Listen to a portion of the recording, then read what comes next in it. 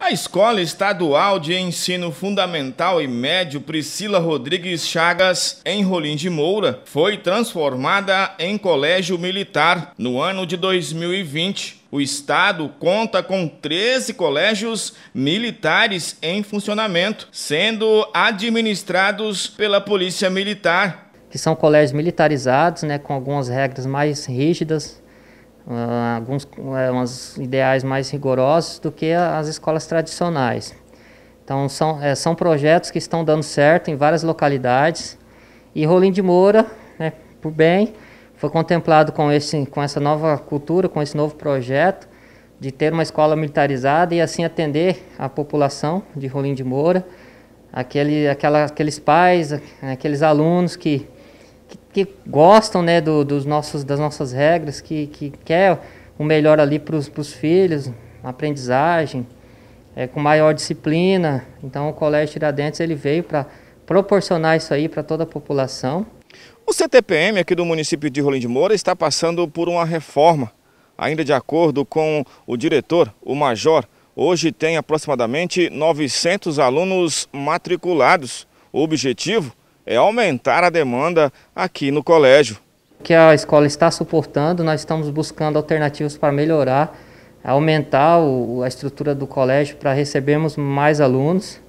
Estamos aqui com as portas abertas para toda a sociedade de Rolim de Moura, para conversarmos e, na medida do possível, trazer aqueles alunos que, que queiram né, estar conosco aqui nesse novo projeto. A transformação da escola em colégio Tiradentes da Polícia Militar é considerada um grande avanço no eixo das ações estratégicas de educação, mas, mesmo assim, há uma preocupação, como destaca o Major Rudinei. Temos aqui dois focos, né? O primeiro é buscar aqueles alunos que ainda estão deixando a desejar em relação às atividades, ou não estão fazendo, ou estão deixando a desejar. Então, nós estamos com uma busca intensiva para trazer eles até o colégio e realizar as atividades de maneira remota. E o segundo nosso objetivo nesse momento é melhorar as estruturas do colégio, para podermos receber melhor os alunos quando voltarem às aulas presenciais. Então, estamos neste momento buscando essas melhorias, precisamos também da parceria de toda a sociedade.